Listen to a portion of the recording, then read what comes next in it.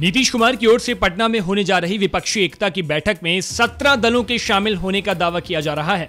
लेकिन जिस तरह जम्मू कश्मीर के पूर्व सीएम उमर अब्दुल्ला ने आने से मना कर दिया है, ऐसे में लग रहा है कि अभी और भी नेता शामिल होने से मना कर सकते हैं, क्योंकि पहले से ही आधा दर्जन प्रमुख विपक्षी दल घोषित अघोषित तौर पर विपक्षी एकता से अपने को दूर कर चुके हैं।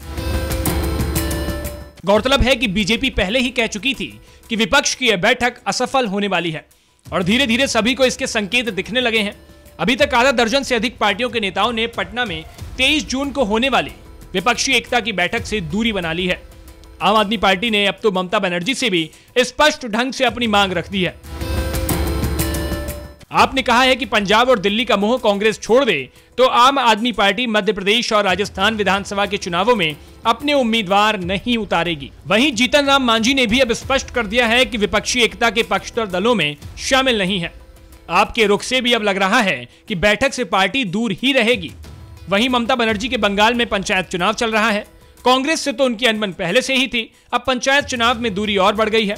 इसलिए यह देखना दिलचस्प होगा कि आखिरी वक्त तक कितनी पार्टियों के नेता बैठक से दूरी बनाते हैं। गौरतलब है कि नीतीश कुमार विपक्षी एकता की मुहिम चला रहे हैं। वे तो अब यह भी आशंका जताने लगे हैं कि बीजेपी अगले साल के बजाय इसी साल लोकसभा के चुनाव करा सकती है। जीतन राम मांझी के महागठबंधन से अलग होते ही, जहाँ बिहार में अब इसके छह ही घटक दल रह गए हैं, वहीं विपक्षी एकता की हवा कई विपक्षी नेता भी निकाल चुके हैं। तेलंगाना के सीएम और बीआरएस नेता केसीआर, ओडिशा के सीएम और बीजेडी नेता नवीन पटनायक यूपी की पूर्व सीएम और बीएसपी लीडर मायावती, कर्नाटक की पूर्व सीएम और जेडीएस नेता H D Kumaraswamy Andhra Pradesh के सीएम और बाई एस राय कांग्रेस के नेता जगन मोहन रेड्डी जैसे कई नेताओं ने नीतीश कुमार की विपक्षी एकता मिशन से पहले ही अपने को दूर कर लिया है।